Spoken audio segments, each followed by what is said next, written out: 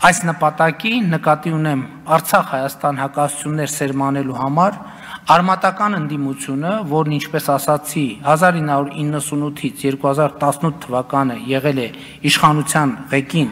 եւ Լեռնային Ղարաբաղի հարցի բանակցային գործընթացի պատասխանատուն է հանդիսացել, փորձում է ներկայացնել, թե իրենց իշխանության տարիներին իրենք առաջնորդվել են Արցախը երբեք չի լինելու Ադրբեջանի կազմում կարկախոսով ու ռազմավարությամբ։ Եվ քանի որ այս իմաստով մեր արմատական ընդդիմադիրները հատել են բոլոր հնարավոր սահմանները, ստիպված եմ հիաստափեցնող լուր հայտնել այդ պնդումները կատարյալ սուտ են, որովհետև բանակցային գործընթացի ողջ պատմության ընթացքում թե Ռոբերտ Քոչարյանը եւ թե Սերժ Սարգսյանը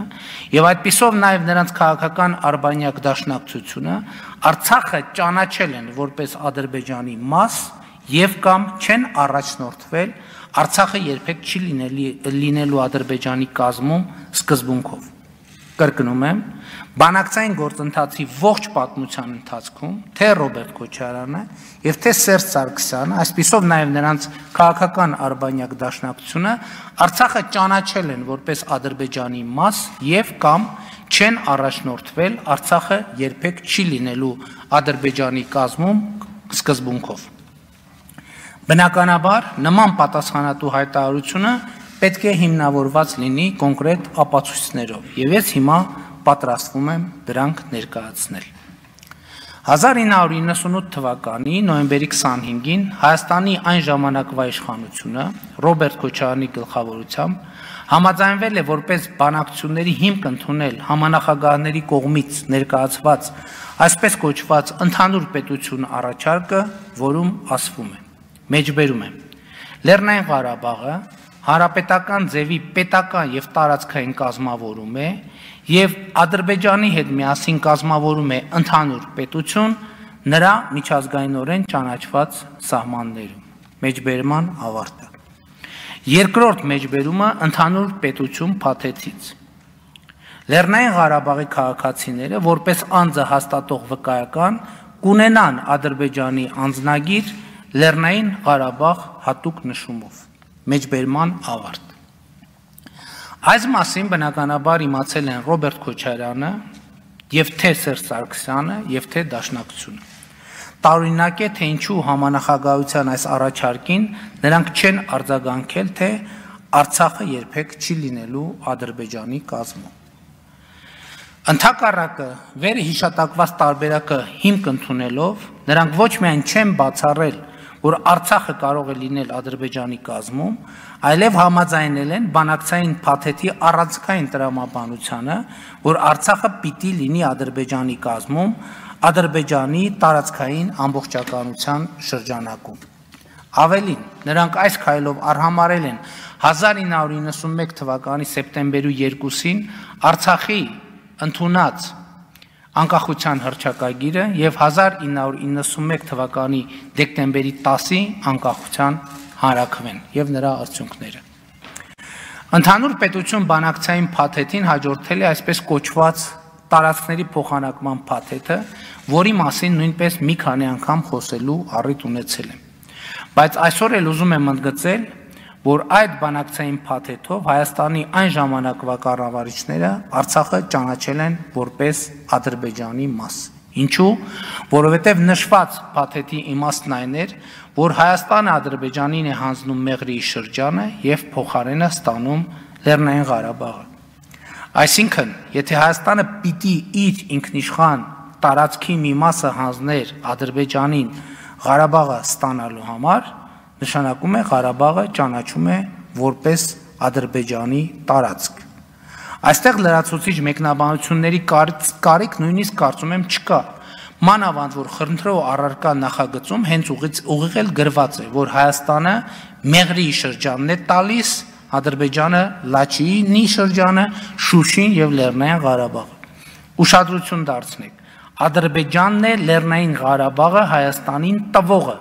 Նշանակում է, որ Քոչարյանն ընդունել է, թե Ղարաբաղը Ադրբեջանինն է Շուշի եւ Լաչինի հետ միասին։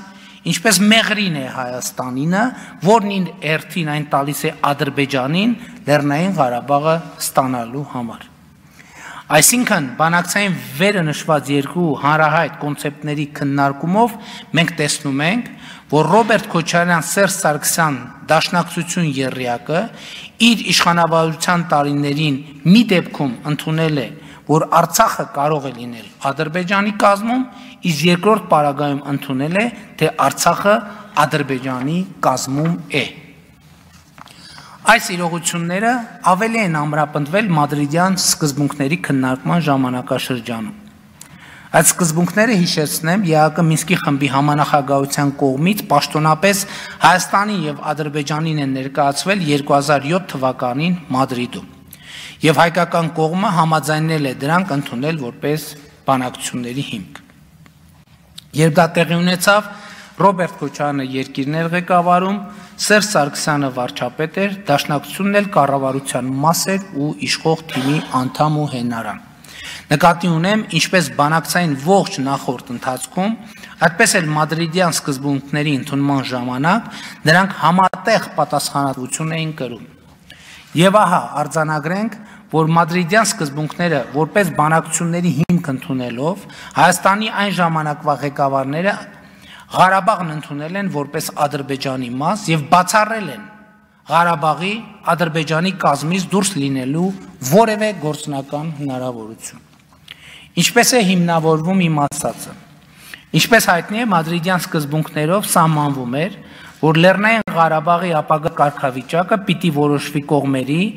այսինքն Հայաստանի եւ Ադրբեջանի միջև համաձայնեցված ժամկետներում տեղի ունենալիք հարակվեի միջոցով։ Առաջին հարցը, որ ցակում է, հետեւյալն է։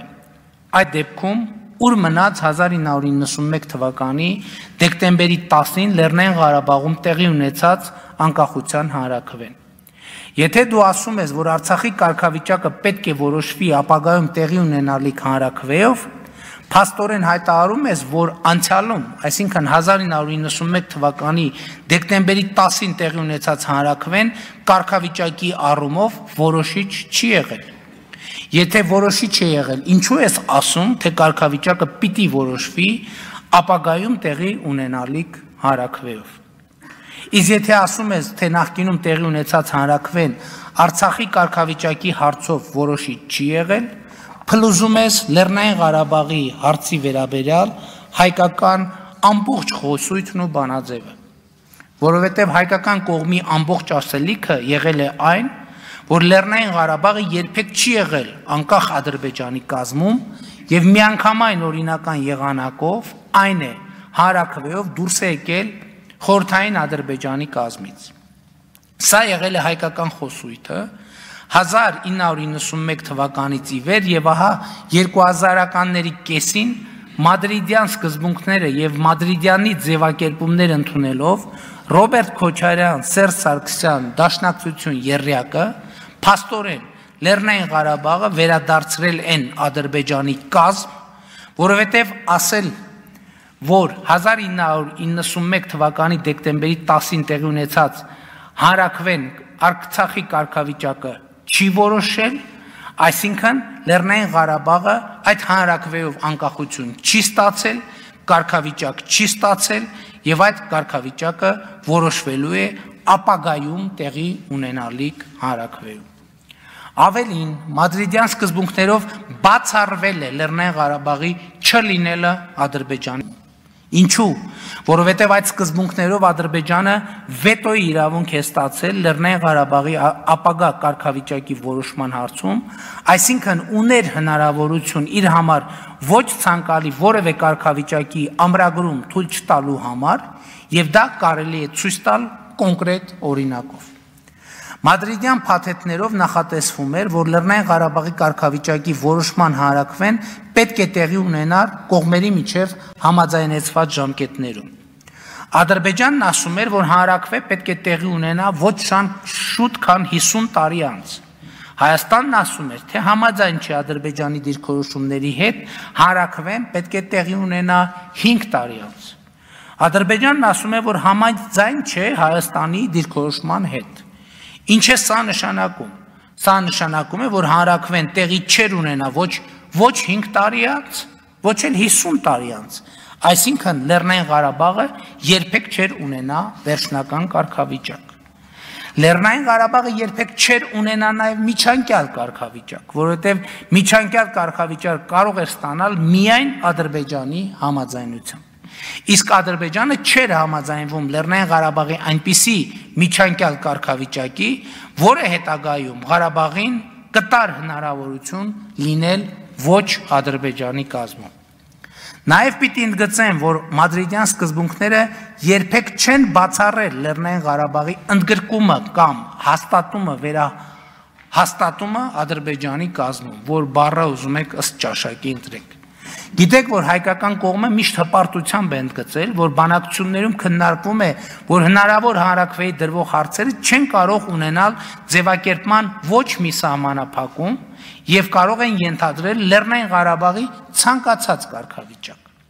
Սա ինքնին նշանակում է, որ հանրակրվեի դրվող հարցը կարող է ենթադրել նաև Լեռնային Ղարաբաղի կարգավիճակ Ադրբեջանի կազմում, որովհետև եթե ոչ կարգավիճակի ոչ հարցի սահմանափակում չկա, հարցը կարող է լինել։ Համաձայն եք արդյոք, որ Լեռնային Ղարաբաղը լինի վարչական շրջան Ադրբեջանի կազմում։